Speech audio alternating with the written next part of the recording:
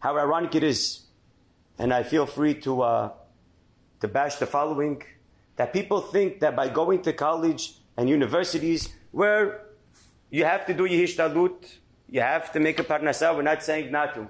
But how ironic it is that you're now going to take a great mitzvah of supporting your family and you're going to do it in such a wrong way by going to co-ed universities where you're sitting next to Shaniqua, Kozbi, and Zimri. Do you think that's really what Hashem wants you to do? To sit next to Rishot and go see how they're dressed in the winter. Don't go see, but go see how they're dressed in the winter. Could you imagine in the summer? And you're telling me that's what you have to do to go get your parnasa? You're better off not going there. And trust me, Bezat Hashem, you'll have more parnasa. Boys think, wow, Rabbi, we can't go to college. I'm not saying not to go to college. There are good, there are good places to go learn education, to make a parnasa.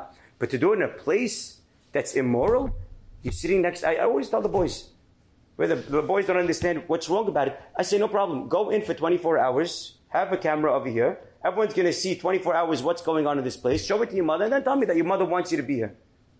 That's where your mother wants you to be. That's where Hashem wants you to be. In a place where there's immorality. How do you think you're going to be zochet to parnasa if a person is not goder einav? Our parnasa comes b'zchut shemirat enayim. Make a hishtaluk, make a hishtalut work, no problem. There are places that you can learn education without putting yourself in a makom of an.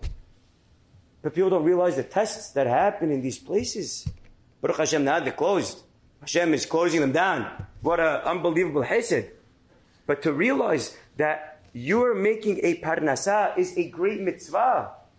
Don't turn that mitzvah into something that's immoral. It's like someone saying, oh, Rabbi, there's a mitzvah to have children, so he's going to go marry a goya. Well, what are you doing? You're going to marry a goya because there's a mitzvah to have children? Really? That's what you think? Oh, you have to make ishtalut. You have to make parnasa. True, go. And then now you're going to throw yourself into a pit. You know the stories that come out? And you just tell the people, you explain to them, your kedusha is what's going to bring you your parnasa. Not doing things in the wrong places.